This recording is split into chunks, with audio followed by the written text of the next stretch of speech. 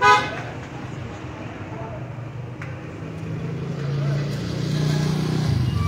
buenos días, estamos aquí en el Story Zaval. Hemos tenido algunas denuncias por el traslado del Caimi y venimos a ver precisamente en qué condiciones se encuentra y sobre todo a verificar cuánta gente han atendido si tienen al personal y los insumos necesarios para poder atender. Nos encontramos con Abelardo. Abelardo es un vecino de aquí del Story que está sumamente preocupado con esta situación porque a él lo han llamado. Y pues también con Danilo porque Danilo le está dando muy de cerca seguimiento a todo relacionado a la violencia contra la mujer. Aquí nos encontramos el día de hoy Muy buenos días. En acá, muchas gracias por la presencia de los diputados. Vamos a fiscalizar.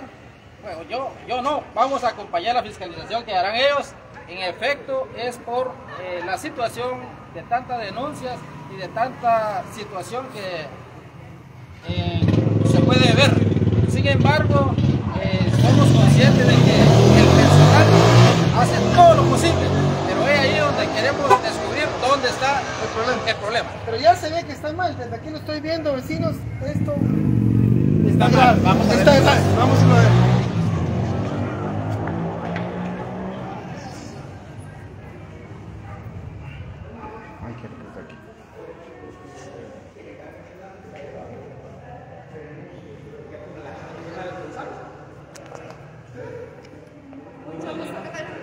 Aldo David. Con respecto a aquí están ubicados temporalmente. ¿Dónde estaban? Muy bien. Estábamos, eh, estábamos ubicados en las instalaciones formales del CAIN y ¿verdad? ahora está en un proceso de remozamiento y ampliación. Entonces, por eso está ubicada la emergencia acá temporalmente.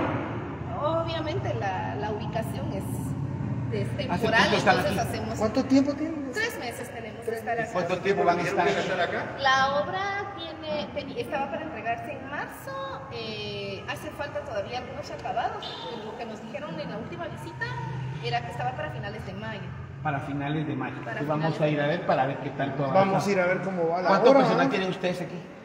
Mire, nosotros somos 147 trabajadores a nivel de distrito.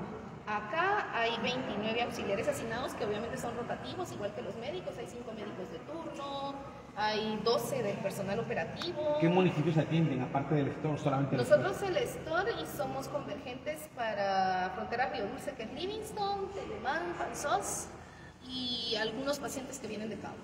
¿Y afluencia de pacientes en estos últimos dos meses? Ah, se ha manejado una afluencia baja, primero porque estábamos saliendo de la pandemia, ¿verdad? Y lo de la pandemia, los hisopados siempre hizo que la, la afluencia de población disminuyera.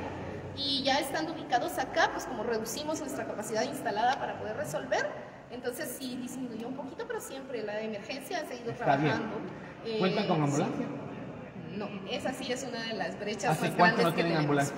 Nunca han tenido. No, sí tenemos una, ahorita tiene tres meses de estar en reparación, ya mañana le instalan los aros, que era lo último que faltaba, y ya el fin de semana está... ¿Cuentan con pilotos?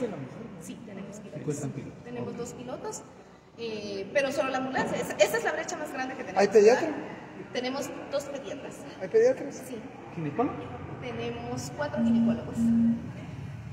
Ah, En, en, en esas instalaciones se han estado atendiendo entonces desde tres meses. Pero sí las condiciones sí están. Sí, sí están. No, sea, yo solo viendo que champa, pues, son champas. Pues la verdad es que como es una cuestión temporal, no podíamos instalar No, claro, si culpa de ustedes no es, pero, yo creo que la planificación del remozamiento no fue la adecuada porque tendrían que haber tenido aquí algo más formal antes de pasarnos. O a un centro de salud pasarnos temporalmente a algún lugar con condiciones. Esto no tiene condiciones. Por lo menos limpiarles el lugar, ponerlo sanitariamente bien, miren hasta la araña. Condiciones monta, el ¿no? municipio completo para podernos haber albergado. Entonces No había nosotros dónde, la teníamos- iglesia, tal vez algún lugar No, mejor. lo que teníamos disponible era la instalación de la casa materna y el centro de recuperación nutricional. Entonces, en la parte de la casa materna está funcionando toda la consulta externa No había espacio. y toda O sea, la ahí se pasó una parte también. La consulta externa. O sea, están distribuidos ahorita Sí, en varios lugares. Distribuidos. ¿En cuánto. Entonces, aquí, eh, que están los servicios de 24 horas porque es más accesible a la población. Está más céntrico. Sí, sí. Entonces, y el CRN que está mm, arriba del cementerio, en el barrio San Marcos, ahí funciona, en lo que era la casa materna, funciona toda la consulta externa y en la parte que era la casa, eh, el centro de recuperación nutricional, ahí funciona la parte administrativa. ¿Y están de- trabajando la obra? Todos trabajamos y la obra está trabajando, lleva un avance por lo menos de un 70%. Si vamos, ahorita están ahí los albañiles echando punta. ¿o no? Ah, he de imaginarme que sí, porque yo pues no soy parte de la supervisión pregunto, de la pues, obra, sí, pero sí. cuando hemos ido no, porque nosotros, díganos pues para que nosotros presionemos. cuando nosotros hemos ido sí están ahí. Es- Si no están estado trabajando, para que nosotros pidamos, ¿va? que Cuando metan más hemos hecho la visita sí, sí han estado ahí. Sí, sí, tal vez una de las preocupaciones más grandes Vamos a ver. cualquier eh, vecino del gestor es tanto en la emergencia como en la consulta. Cuando se hacen las recetas y medicamentos, sí. Ah, ¿tienen medicamentos? No, no, no existe. Eh, la compra del, del primer cuatrimestre de este año acaba de los finalizar doctores dónde y sí nos están? abastecieron. ¿Cuántos están presentes? Que dice son los aquí me están nos diciendo que no vienen. Vamos, con que les presente a la Están gente. diciendo que no los doctores. Que nos presenten a los ¿Qué me están diciendo ahorita que no, cuando vienen no están? Me están diciendo aquí la, la gente. ¿Quién será quien le está poniendo la No, demanda en pero este momento? ¿qué me para está saber diciendo si ellos que a es veces no están? no están? No, vea, eh, ¿Dónde están? eh, ese médico de turno.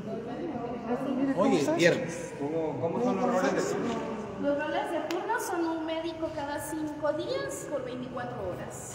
O sea, siempre hay un médico. Este es, este es un centro de atención. Este es un centro de atención integral materno-infantil, es un CAIM. Naturalmente, usted lo viene a encontrar en condiciones en las que estamos Los roles de temporalmente. turnos no importa, digamos, las condiciones. Es un médico por cada cinco días. Un médico por cada cinco O sea, días. pero los roles de turnos sí están muy ampliados.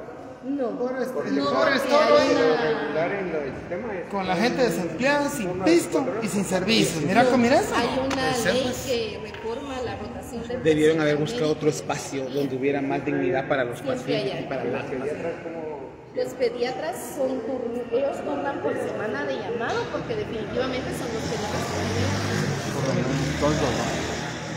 Yo creo que era la inversa, ¿va?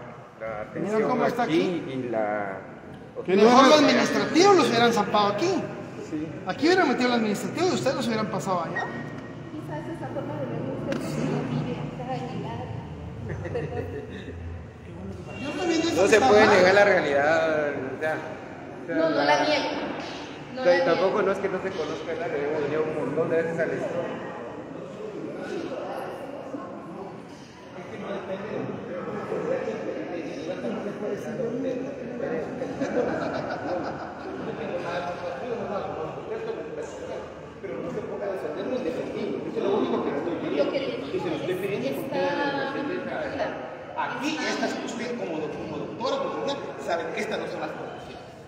Que- y que es temporal, y lo entiendo muy bien que es temporal, pero también, como le digo, no defiendan lo indefendible.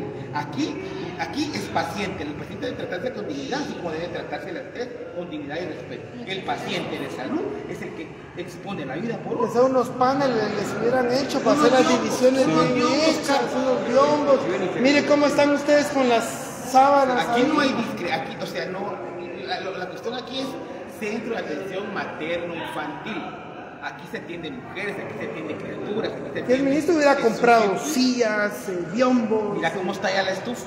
Todo eso está mal. Entonces no hay dignidad para el paciente ni para los trabajadores. Para ustedes. Aquí pariendo algo y ya comiendo aquello. No, no es así la cosa.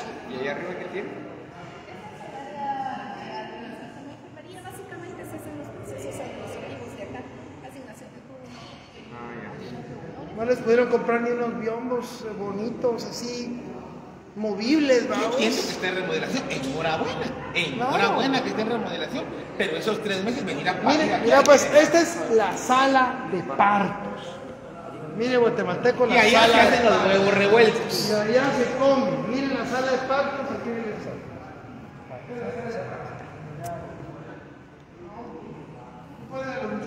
¿Eh? Cuando naces estás propenso a infecciones. No se puede. Mira el techo. Mira, mira, aquí eh, vamos a hablar claro, vecino de Izabal. Eh, Carlos Danilo. El personal de salud está dando 150% trabajando en estas condiciones. La licenciada, la doctora, la ginecóloga, el pediatra no son responsables de esto. Que quede muy claro. Los mandan a trabajar, Carlos, con lo que hay y donde pueden. ¿cómo es posible? Vea usted, mire. Aquí ponen a la criatura, aquí la pesan, ahí la miden, incubadora, mesa, y aquí enfrente hacen huevos, mire. Mire. A escasos 30 metros se cocina y a 30, escasos 30 metros está la sala de partos, mire. O sea, no estoy hablando babosadas. No, no, no. Estoy diciendo que se tiene que tratar con dignidad al trabajador de salud y al paciente. No más que están trabajando en las condiciones porque están remodelando. Bendito sea Dios. Enhorabuena Danilo, enhorabuena Carlos. Pero debieron haber puesto, mire, una pica. No está la mitad. ¿no? Entonces no se defiende lo indefendible. Aquí que les manden. Que primero que li, mira, Ojo, Carlos. Carlos dijeron. Aquí Carlos se van a enfermar los bebés. Dijeron para finales de marzo. ¿Cuánto tenemos hoy de abril? 21.